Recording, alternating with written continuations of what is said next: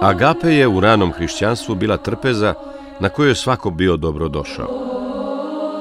Ovaj davni običaj postao je vremenom simbol univerzalne hrišćanske ljubavi. I danas se zna. Ko veruje da nam je samo ljubav potrebna, njegova je trpeza agape.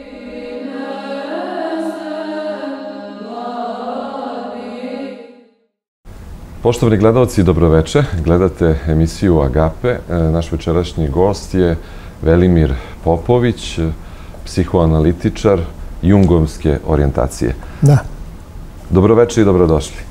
dobroveče. Hvala.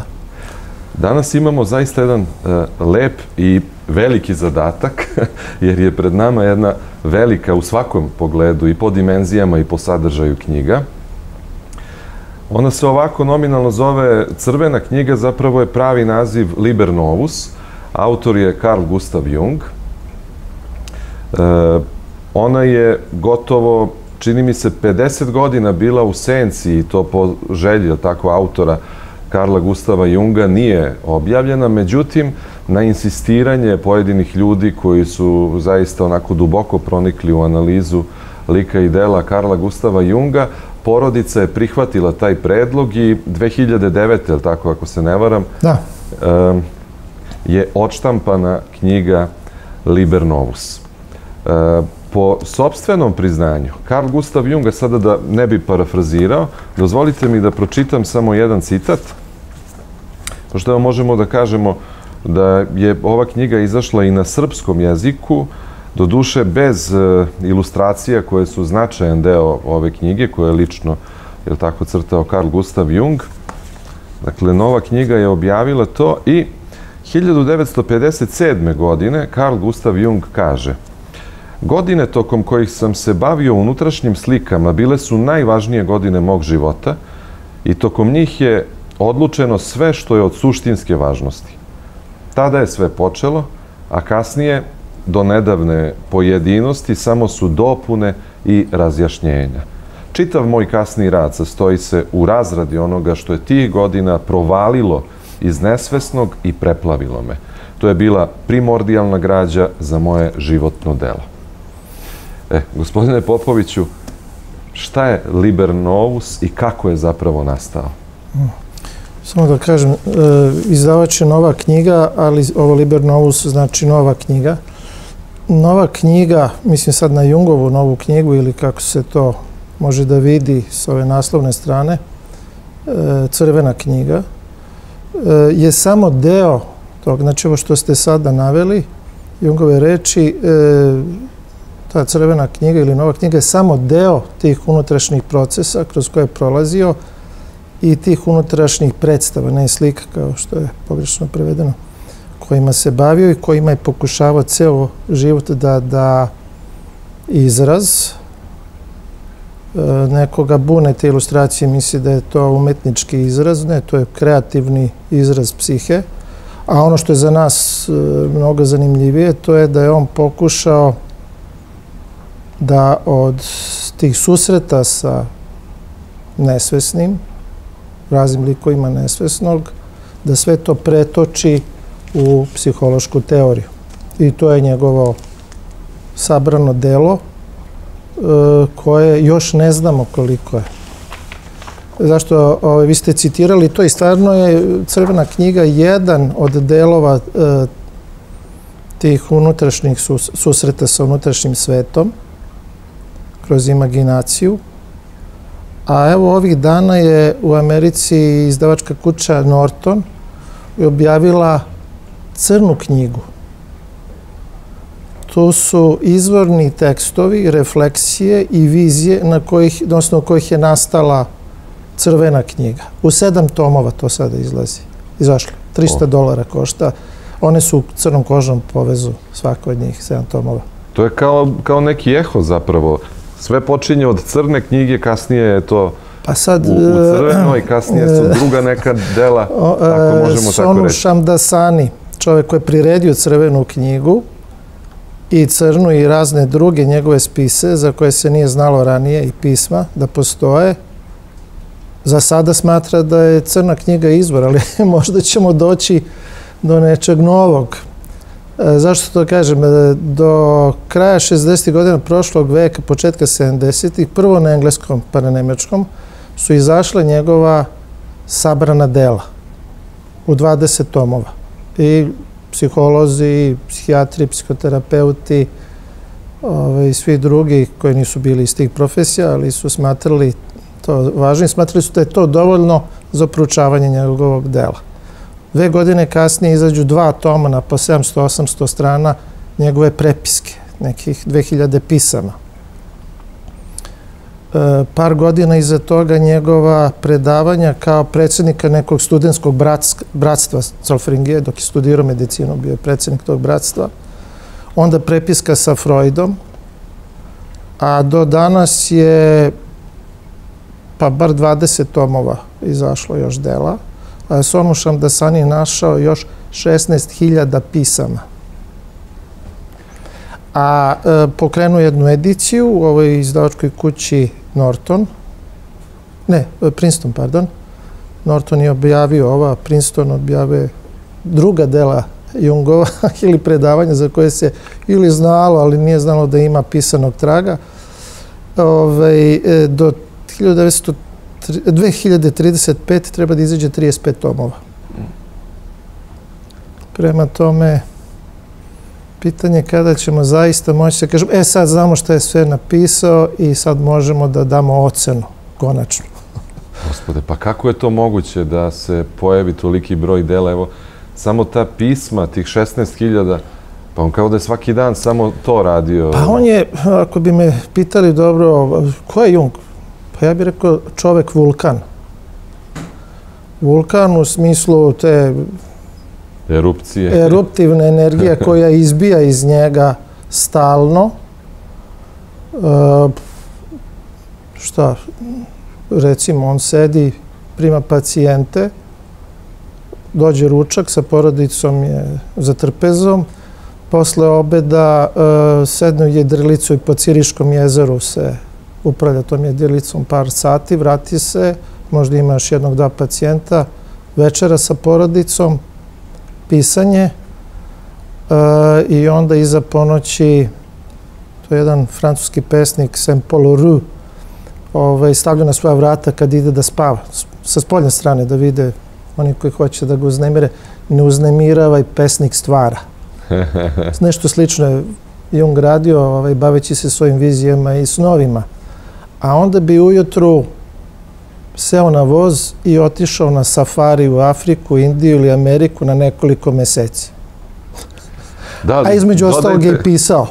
A, dodajte I to da, da, da ilustrujemo tu priču kako je otputovao na safari. Dakle, on je prethodno veče sedeo sa prijateljem. Sedeo je sa prijateljem, prijateljem Albert Eri, njegov uh, drug gimnazijski, koji je naživeo sa 101 godinom ja mislim da je dao posljednji intervju o Jungu, on kaže, sedeli smo jedno veče, pričali, pijuckali neko vino, raziđemo se i on me ujutro oko pola osam budi i kaže, šta radiš? Pa kaže, evo ti si me probudio.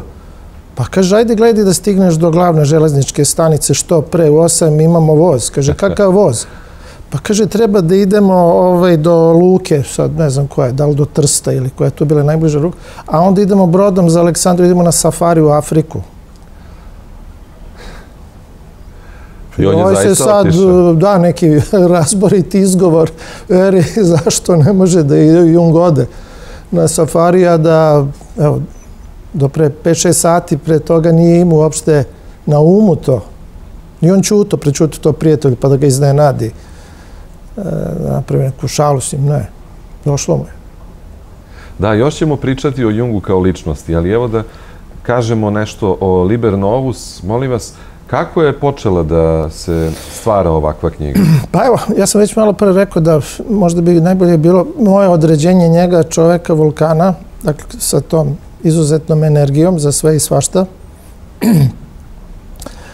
Ali e, čoveka vulkana u smislu da kroz njega probija ta žitka masa vrela koja ubija mnoge, iz dubine zemlje, u njegovom slučaju, možemo da kažemo iz dubine kolektivnog nesvesnog, koja i njega nekada ponese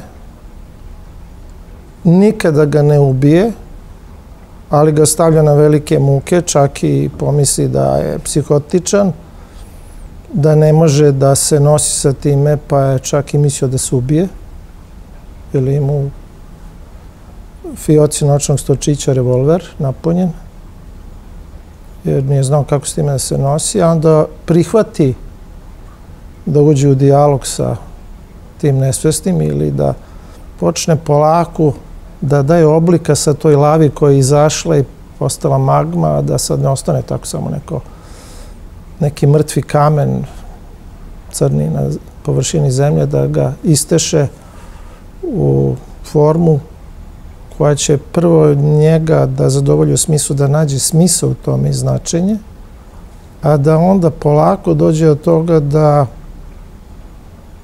je sadržaj te građe, tako obrađene, nešto što može da podeli sa drugim, odnosno da su to njegove psihološke teorije.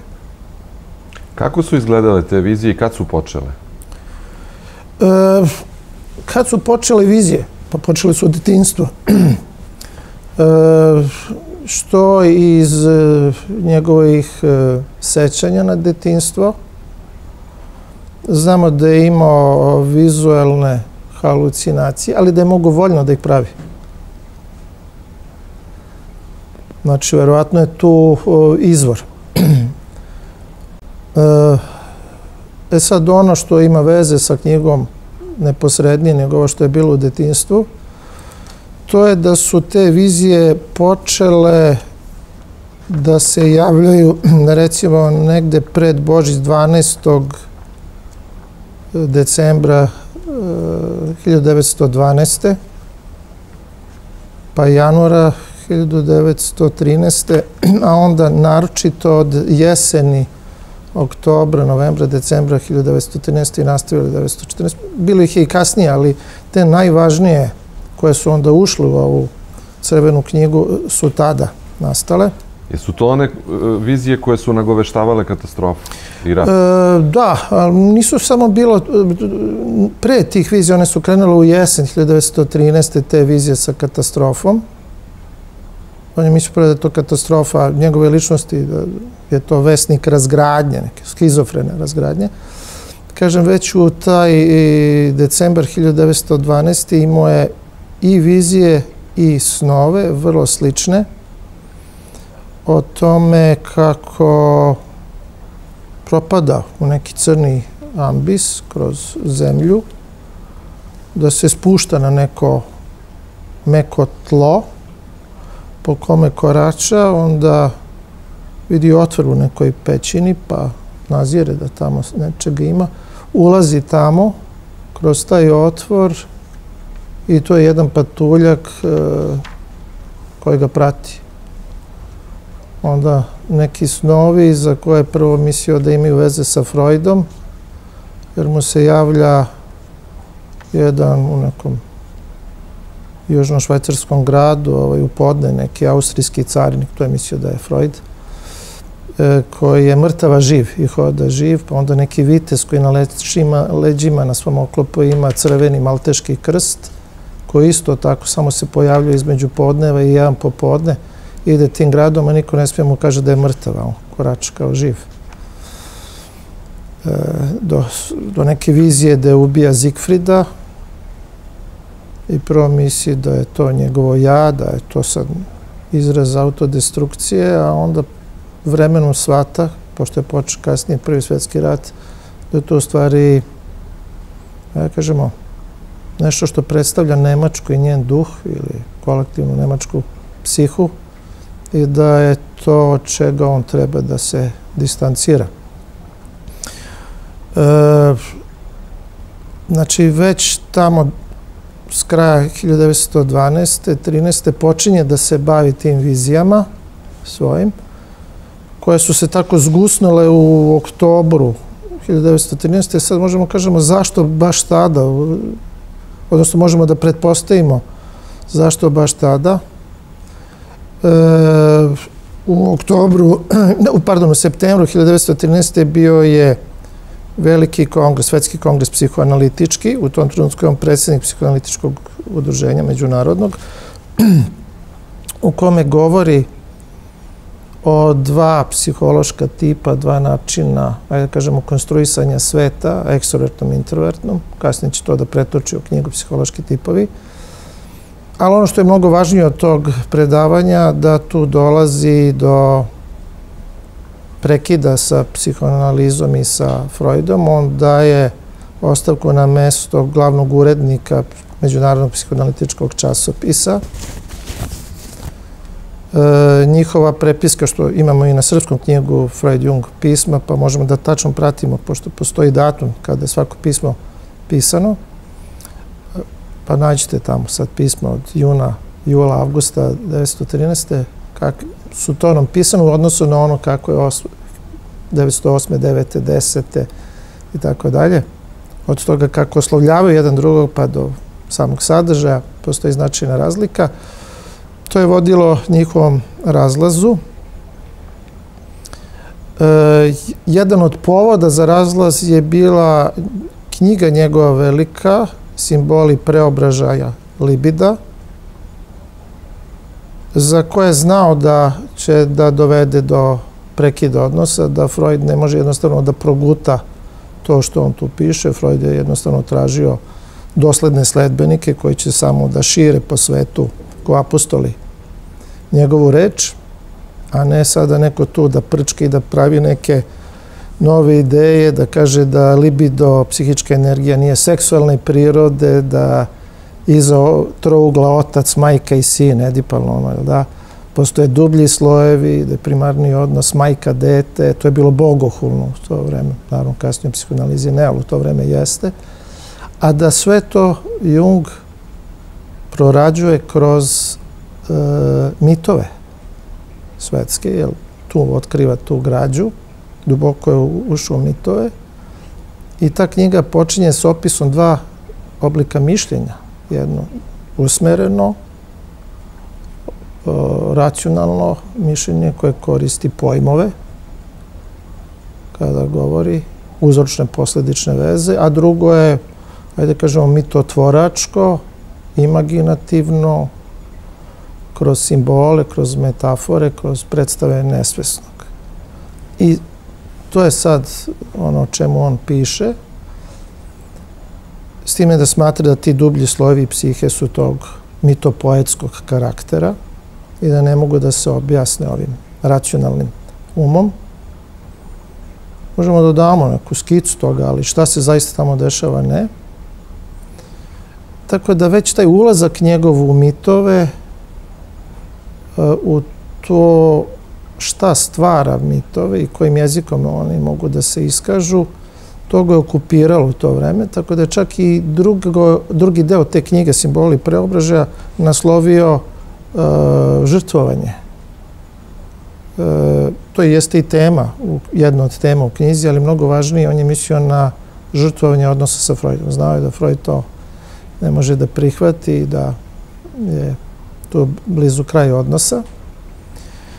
E sad, kada je napisao tu knjigu i objavio, nije bio zadovoljan time. Zašto?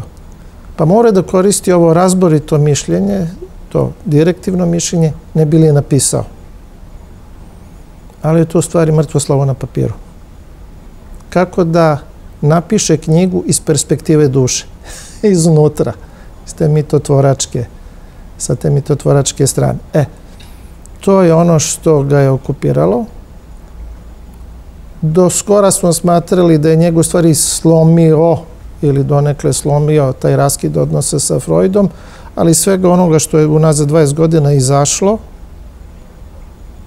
jednostavno se vidi da to nije bilo presudno, nego više ova unutrašnja borba, jer kad je otišao od Freuda, on kaže, ja nemam sad svoje uporište, naučno ja moram da ga nađem i još više moram da nađem svoj mit.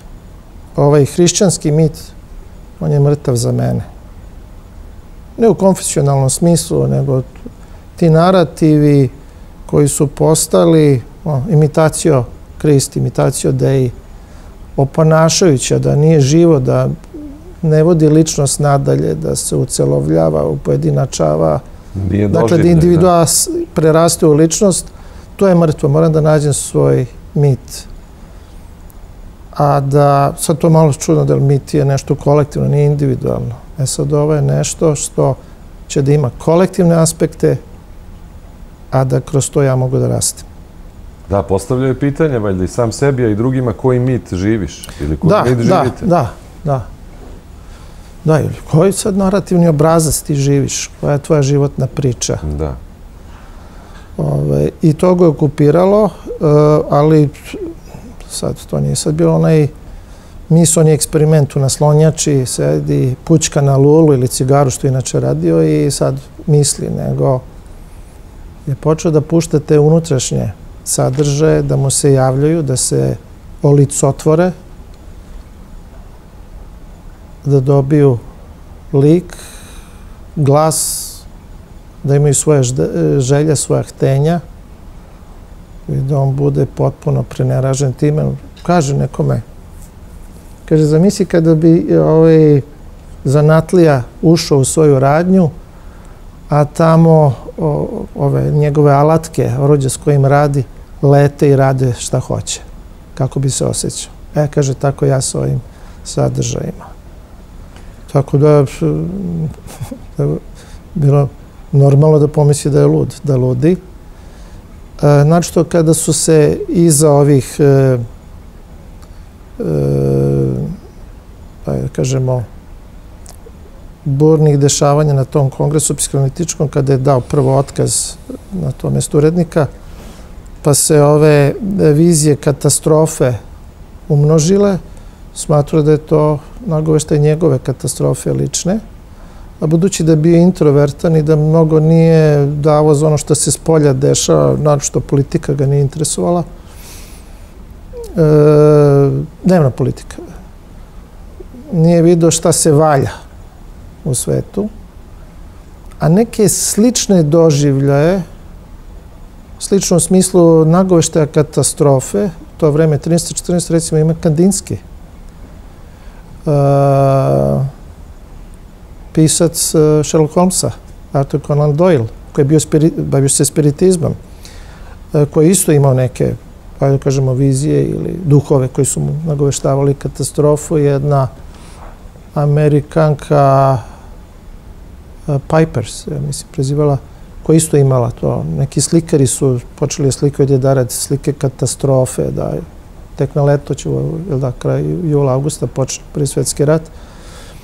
Znači, nešto se valjalo što su neki od ljudi tada osjećali, e, a da možda nisu dovodili u vezu sa onim što se s polja dešava, tako je Jung misli prvo da je to nagovešte kataklizme, nešto što je njegova, a onda tokom boravka u Britaniji držao je predavanje u Aberdinu, medicinskom udruženju engleskom, u vozu kada se vraćao ovaj, za Evropu, e, dobije vez da je počeo prvi svjetski rat.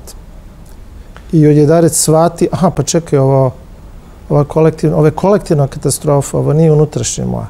Da nije shvatio da ti sno, snovi, više vizija nego snovi, bilo je snova, ali više vizija, da su oni prekognitivnog ajde kažemo, proročkog karaktera i da se tiču onoga što se tiče celog sveta, Pitanje je da li bi uopšte bilo crvene knjige ili bi da. mislio da je to sad izraz njegovog prolaska kroz ludilo.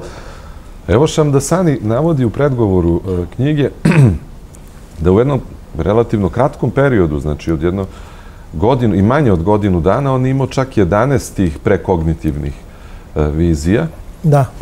Evo ja ću samo da preskakaću, naravno, od 1. do 2. oktobra 1913 ponovljena vizija poplave i smrti hiljada ljudi, glas koji kaže da će to postati stvarnost. Potom vizija mora krvi koje pokriva severne zemlje, zatim, ne znam, u decembru slika mrtvog heroja i Zigfrida, kao što ste već rekli, snu.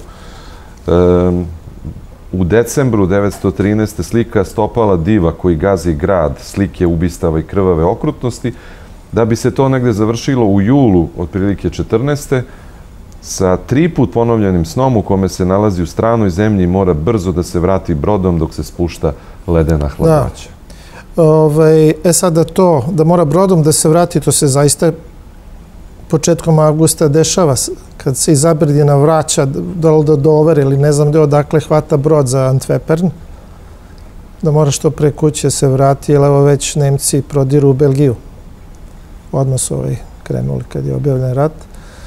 Ovaj, ta tri sna, oni su bili u aprilu, maju, krajem juna, početkom jula, sa, sa tim mrazem koji s neba dolazi i ledi i kaže od Severnog mora i Baltika do Lorene sve je smrznuto i mrtvo. Taj posljednji treći san iz kraja juna, s kraja juna, početka jula, 1914. Sve je smrznuto i vidi jedno drvo na kome nema plodova. Znači ono da se smrzne. I onda i on kaže, još u snu ili u viziji, kaže, pa dobro, to je moje drvo života, to je moja suština. Međutim, u tom trenutku taj vetar koji s neba duva, taj ledeni vetar, učini da na tom drvetu počne da raste grožđe. Slatko, sočno grožđe e, i on se njime hrani i zna, ali ovo moram da podelim sa drugima. Da, to znači, je bio signal. taj onaj katabazis, prolazak kroz svet mrtvih je neophodan da bi se ponovo rodio. Tako da to što je bilo ledeno jeste strašno i zastrašujuće, ali tek tako možeš da se obnoviš, da izrasteš da. kao ličnost. Da.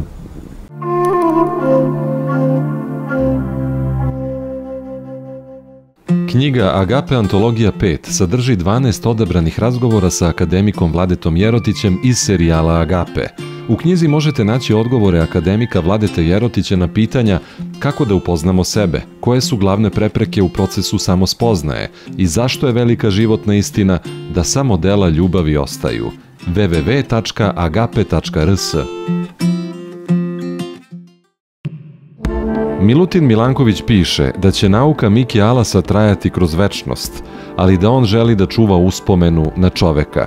Tako nastaje knjiga Čovek ispred nauke, koja kroz anegdote piše o najuzbudljivijem životu u nauci, životu akademika i Alasa Mihajla Petrovića. www.agape.rs Ivan Đaja, Jovan Cvijić, Atanasija Nikolić i Ruđer Bošković – razumeli su šta je potrebno udahnuti da bi se časnije hodalo kroz nedaću. Put su popločali velikim sjajnim delima. Večnost osvojiše srcem. Knjiga Zvezdobrojci 2. Dom su njihovim nepoznatim pričama. www.agape.rs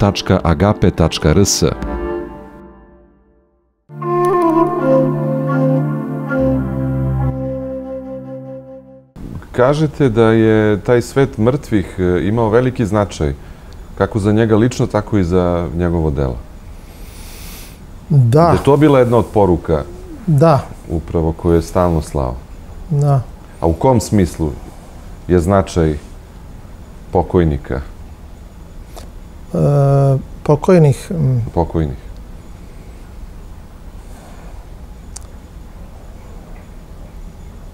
Pa oni su samo u jednom smislu mrtvi, nema ih više a u jednom drugom smislu oni su stalno živi, prisutni,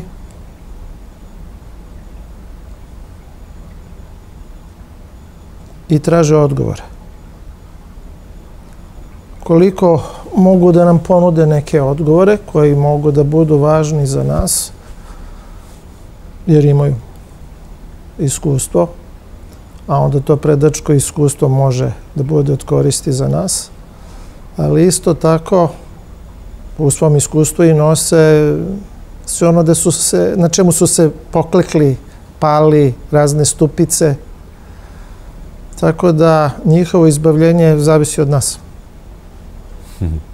Koliko smo mi u, u spremni prvo da poverimo da su mrtvi, mrtvi i živi i da ima smisla sa njima pričati, da to možda bude blagotvorno i za njih i za nas.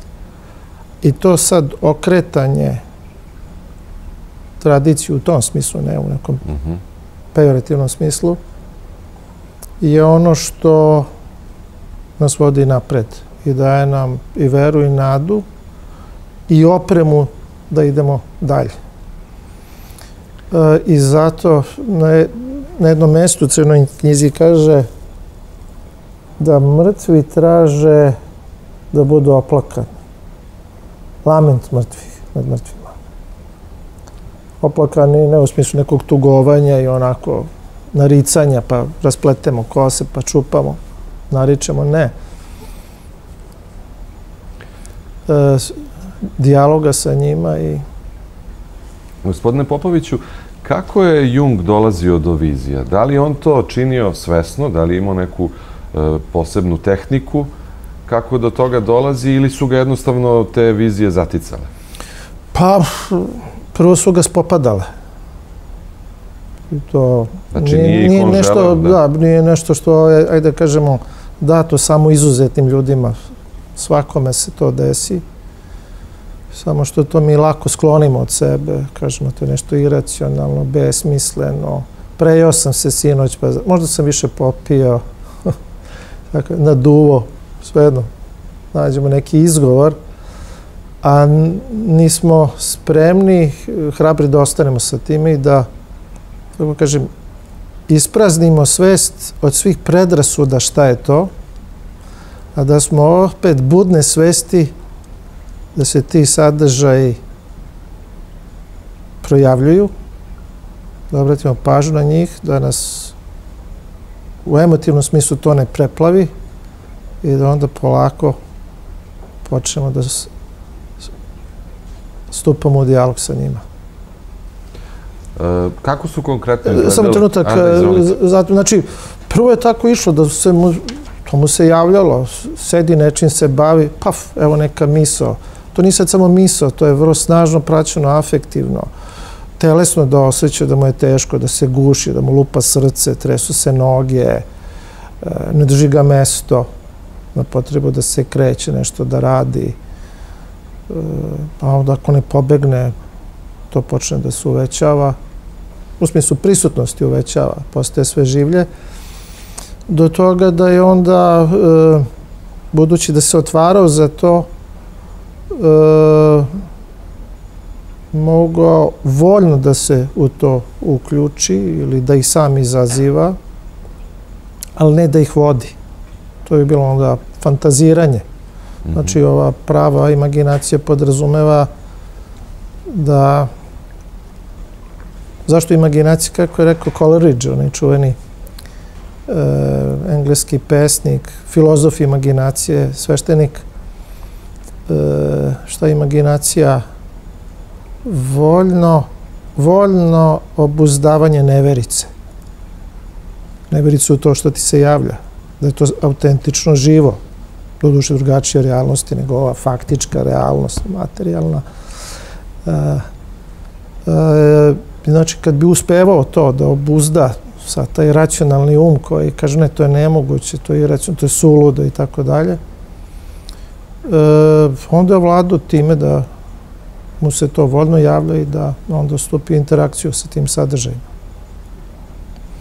On ima određene ličnosti koje su se pojavljale? E, pa Filemo. da, nije on imao, one su imale njega, nije on njih imao.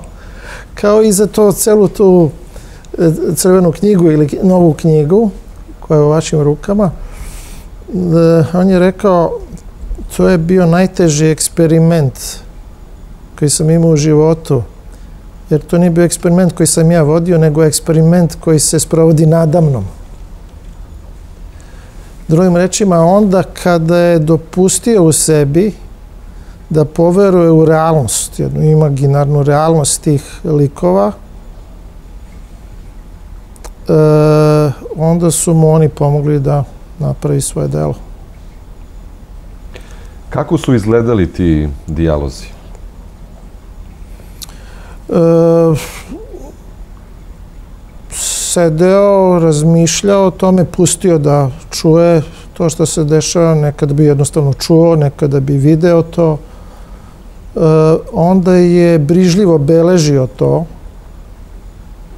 u takozvanu crnu knjigu. To su pravili mrki, pa posle crni povezi kožni, gde je u koje je stavljao sveske da je beležio to. onda bi iza tih e, dijaloga imaginativnih e, pisao svoje misli, ideje, tumačenje toga šta je to. Onda bi im se opet vraćao, pa bi nastavljao razgovore sa njima tamo gde, su, gde je stao. E, nekada su oni bunili, nisu teli da ti likovi pričaju o tome nego nečemu drugom. E, onda bi nastala svađa, prepirka. U početku e, on uglavnom sluša te likove, nekada ga zgražava to, plaši, buni, ne razume to što oni kažu, ali više to, tako kažem, njihova priča njemu. A, ova što je drugi deo ove crvene knjige, Liber Novus Secundus i treć, treći Tercius, tu je već to pravi dijalog gde se oni spore, nekada iz tih dijaloga oni izađu sa novim saznanjima, nekada recimo jednom od bogova koga sretnu u jednoj pustinji koji beži sa zapada, jer tamo nije ništa naučio na zapadu, beži na istok, ne bi li se spasao. Jungovo ja koja je u dijalogu sa tim Bogom, svata da ovome, će svako da dođe kraj, ali pokušava da ga spase i on Bogu daje novi život. Tako što ga recimo, to je jedan od tih dijaloga i taj Bog izlazi obogaćen znanjem i novim životom, a da mu je to ovaj karakter Jungovog ja u tom igrokazu maštovitom dao. Evo Drugim jedan... rečima, to je, ajde da kažemo, jedno od osnovnih e, pouka Jungovog dela da rad na sebi, prvo mi ne znamo ko smo mi, a da taj rad na sebi i otkrivanje sebe je u prvom redu unutrašnji dijalog sa raznim tim drugim koji, nas, koji obitavaju u nama i da razne naše životne tegobe, nedaće, pa do ozbiljnih psihičkih kriza i poremećaja su rezultat toga što nema dijaloga, nego monologa, unutrašnjih i spoljašnjih. Treba da nastane dijalog. E, to je sad analiza po Jungu. Evo. Tako da pomogne svojim pacijentima da stupe u dijalog sa Evo, svojim unutrašnjim svetom. Da bi ilustrovali to kako je izgledalo, kaže u razgovoru sa svojom dušom od 5. januara 1922. godine tema je bila i njegov poziv i liber novus. Ja, osjećam da moram s tobom da razgovaram. Zašto mi ne dozvoljavaš da spavam kad sam umoran? Osjećam da nemir od tebe dolazi. Šta te navodi da me držiš budnim? Duša, Sada nije vreme za spavanje. Treba da budeš budan i da se noćnim radom pripremiš se za ono što je važno. Počinje veliki posao.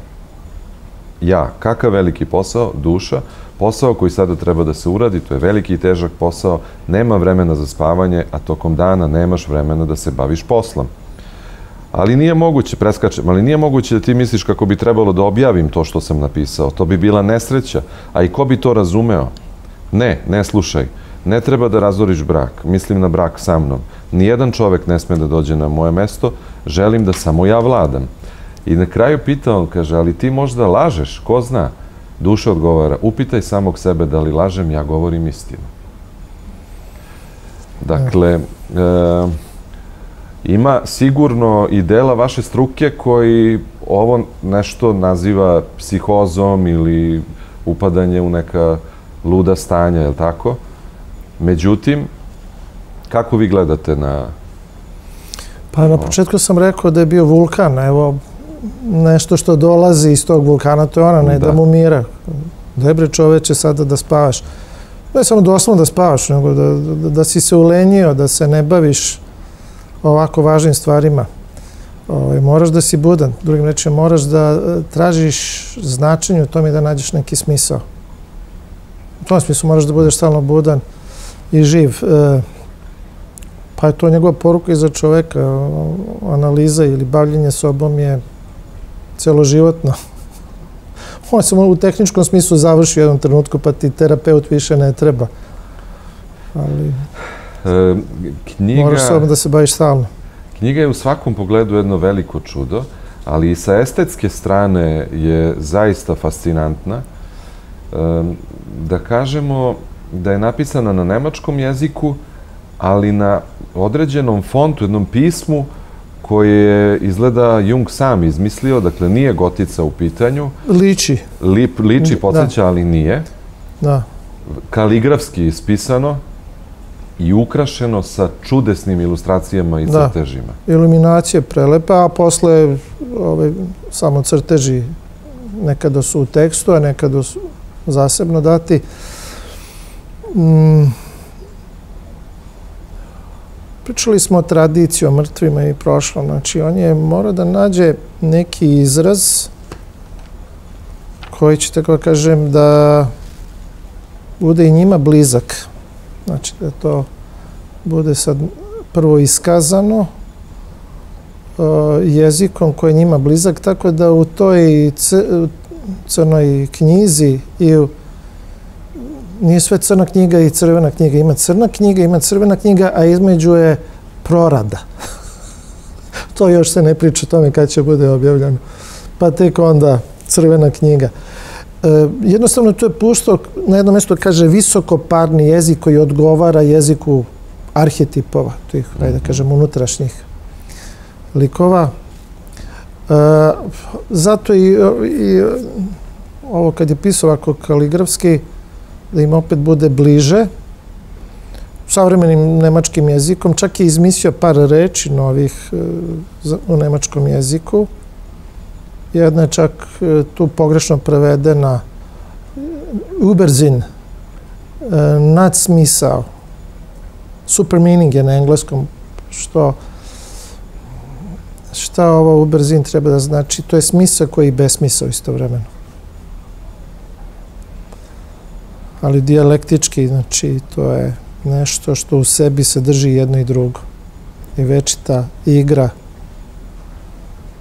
jednog i drugog. E, napravio je to pismo, neki stručnjaci za kaligrafiju su tražili da je to i onda su pronašli neki papirus, ovaj, neki ovaj spis u nekom irskom manastiru iz 13. veka, I rekli, pa ovo liči na to. Jedini je problem što su oni to naši 50. godina prošlog veka, da je Jung ovo pisao do 29. 30. godine prošlog veka i jednostavno nije bio u posedu tog e, pergamenta gde je sličan oblik slova bio iskorišćen. Tako da je, evo, zanimljivo i zbog toga, kažem, par reči novih u, u, u nemački jezik ne ciljam, nije on teo da ga unesu nemački jezik, nego iskoristio to da je kaligrafski tako ovaj, upečatljivo to pisao i još te ilustracije koje su zanimljive. Imao nekog dara za crtanje, slikanje. Jedna od ovih knjiga tu ima nekih e, ulja na platnu. Jedno je poklonio supruzi, jedno majici dok je u Parizu bio kod Žanea na studijama početkom 20. veka crto i pre toga i slikao. Klesao je i kaže, posle smrti njegove supruge, početkom 50. godina, kad god bi upao u neku stupicu, što životnu, što ovu, ajde kažemo, naučnu, uslovno rečeno naučnu, on bi e, gledao neisklesan blok kamena. I onda počeo da ga kleše i kroz to klesanje dobimo neku formu zadovoljavajuću, ali kroz to bi došao do neke nove ideje, nekog novog spisa ili razrešenja neke, nekih tekućih životnih problema. Pa on ne samo da je stvarao ta divna umetnička dela, nego, kako mi rekoste, On je svojim rukama napravio kuću sobstvenu koju je malte ne isklesao, je li tako? Da, nije kuću, nije, e, nije to bila kuća u smislu dom porodični, mm -hmm. da živa sa porodicom, nego je posle smrti majčine 23. godine kupio imanje na obali Ciriškog jezera, e, dosta južnije u odnosu na mesto Küsnak pored Ciriha u kome je živeo. E, Bolingen se zove to mesto, pripada kantonu Sengalen. E, kupio je imanje, tu je prvo sa decom i sa ženom išao, pa je u Šipražju podizdao šator, pa su tu kampovali preko leta. A onda je kupio to zemljište i onda je kao jedan oblik prorade tih susreta sa unutrašnjim svetom i tim likovima, crvena knjiga je jedan oblik, a drugi je ta kula Bolingen, okrugla, liči na srednjovekovne kule, možda jednospratna, dvospratna, s onim tipičnim srednjovekovnim krovom. To je sam klesao blokovi i sam je napravio. A onda je 30. godina još u dva navrata i možda posle suprogine smrti 50. godina doda još jedan sprat, pa je to jedan lep zamčić ovaj, koji je proizvod njegove imaginacije. Ali tu bio jedinstven, rekao ste mi da je Arhitekte su rekli da taj statički da, jedan, je ovaj, juče smo pričali, jedan poznati španski arhitekta, stručnjak, nismo mogli juče se setiti Gaudi. imena, e, Gaudi, vi ste se setili na kraju, stručnjak za Gaudija je gledao planovi, išao istraživao to i kaže neka statička rešenja su nepoznata. A on ih je iskoristio tu. Ovaj, puno tih kamenih blokova od kojih je napravljena to njegovo boravište je iskleseno iznutra, ima ih puno s polja, e, ima nekih nalik freskama crteža na zidovima, nije bilo vode i struje, nego je imao česmu napolje ovaj, i bile su voštanice, uljane lampe unutra. I gotovo nikog nije tu prima. Možda je par ljudi pustio da tu uđu za života i e, to pripada porodici danas i samo izabrani... Ili tu ima latinsku onu misao isklesanu ili u porodičnom e, domu? Ne, to je u porodičnom domu. Zvan ili nezvan, Bog je prisutan, to je tamo u Kjusnaktu na kući napisano. Njegov rođak, e, profesor arhitekture iz Minhena, Fichter, mislim da se prezivao, on je e, arhitekta koji se potpisao ispod plana za kuću, ali objavljena knjiga, nisam je sad ponao od kuće, gde se vidi da je valjda dve trećine posla Jung završio kako da izgleda ta kuća, ne u statičkom, ali u arhitektonskom smislu, i bašta. Ima nekog inženjera hortikulture koji je sređio baštu, ali je Jung to iz tih crteža, vidimo, to sve radio. Tako da je ovaj njegov Bolingen zamak, kažem, to bio mesto gde se bavio celog života imaginacijom, dijalogom sa nesvesnim, dajući mu neku formu, vidu teorije ili ovih klesanih dela. E, I sve je tamo ostavljeno dan danas kako je izgledalo kad je poslednji put tamo boravio i na toj trpezariji, kuhinji velikoj gde uglavnom boravio, ima puno knjiga po zemlji otvorenih, kako ih je čitao. I sada mnogi ovaj, koji su to čuli pa kažu, aha, sad da vidimo šta je učitelj s velikim u čitao sad i ja da se napajam na tim velikim delima koje on čitao. On je obožavao inspektor Megrea, Žoža Simenona, belgijskog pisca.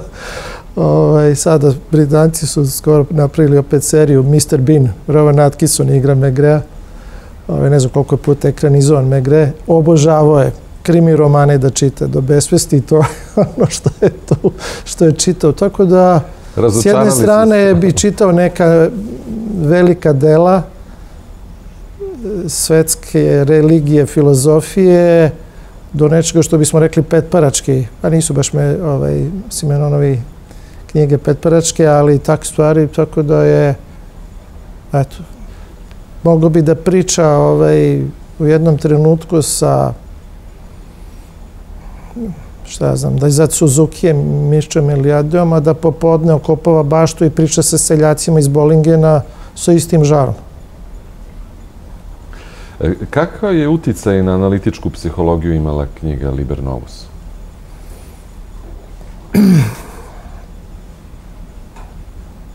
Pa ja bih pre rekao negativan nego pozitivan.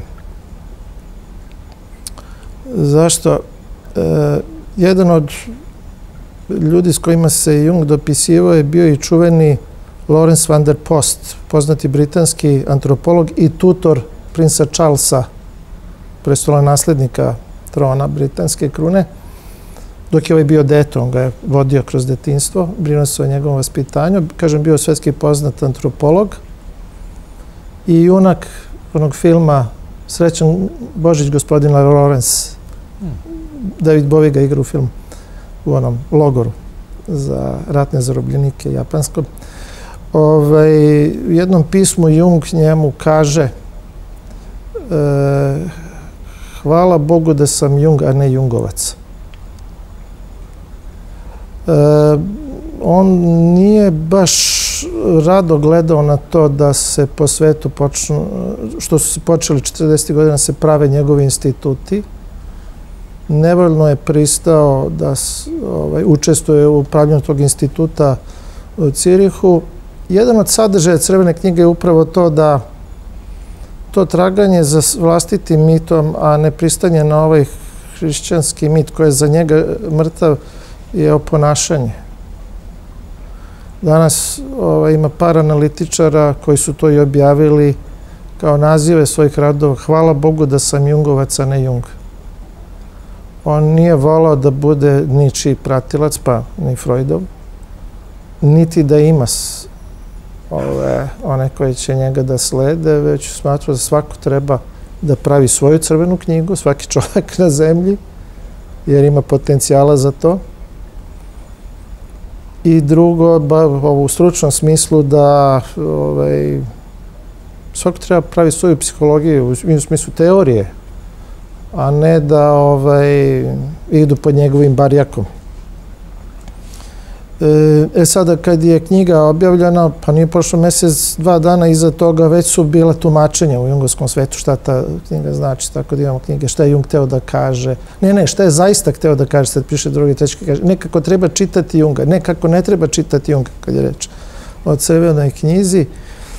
I najveći broj, neću da kažem sve, ali najveći broj tih knjiga ili članaka ali u prvom redu knjige koje se direktno tiču crvene knjige i Jungove i tumačenja je ništavne vrednosti. E, zašto? Pa svi oni hoće da kažu, dobro, to treba tumačiti. To su neke predstave, to su metafore, to su simboli, znaci. Aha, sve to, ako tumačimo, to je hermeneutika. E sada, da bismo mogli nešto na taj način da tumačimo, prvo moramo da uzmemo obzir da je taj tekst, ako je reč o pisanom tekstu, da je polisemičan, više značan, nema jedno značenje, jedan smisao, koji ja treba da dokučim i drugo da moram da uzmem u obzir različite tradicije. Tradicije koje ja pripadam, dakle onaj e, set ideja, misli, stavova, vrednosti, sveta, epohe, kulture u kojoj ja živim, u odnosu na ono šta je drugi, ako je to osoba, pa smo u dijalogu, pa tumačimo, ili sad Jung kad je to pisao i stvarao. E sada, e, oni primenjuju njegova tumačenja, ne bili njega tumačili, pa možeš doći samo do onoga što se već zna, ne do nečeg novog. U tom smislu su bezvredni većina tih tekstova. Nešto malo od onoga što je pisano, a ja sam pokušao, to je da to bude oskočna daska za dalje. Ne da tumačimo što je on teo da kaže, što s tim možemo da uradimo. Koliko sad ovo moje lično vredno, to je drugo pitanje, da li ima smisa ili ne, ali bojim se da ovaj prvi pristup taj idolopoklonički, a da ne donosi ništa novo. Šta je vama lično značila ova knjiga i da li vam je pomogla u tom nekom pogledu vašeg naučnog rada i ličnog usavršavanja? Pa, e, nije mi pomogla e, da bolje razumem njegova dela koja su iza toga nastala, ne. Pre da vidim sad izvore toga i nekada da nađem drugačije iskazane odgovore za razne velike dileme koje nas muče, koje su i njega mučile, čoveku uopšte od kad postoji. mnogo življe i sočnije rečeno. Kroz mnogo više metafora, simbola, nego jezik onako više sterilan, hladan. Mora da bude teorijski, ili tako? Kroz njegova ova sabrana dela. Tako, eto, dao mi je drugačiju perspektivu na isto. Mnogo me više kopka šta je u ovim crnim knjigama, tek treba da skupim pare da to kupim. I, I to je izašlo? Te crne, da, da, sad Aha. sam rekao na početku razgovora da izašle su sedam tomova, Aha, 300 da, dolara da, da. koštaju. Ove, i, I to što je između crne knjige i crvene knjige, to, to su prorade.